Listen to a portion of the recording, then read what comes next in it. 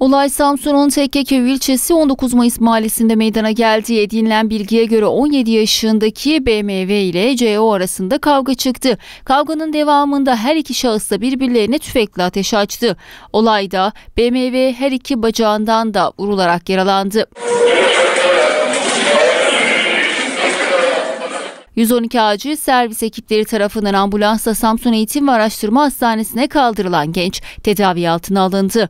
Polis CO'yu olayda kullandığı tüfekle birlikte yakalayarak gözaltına aldı.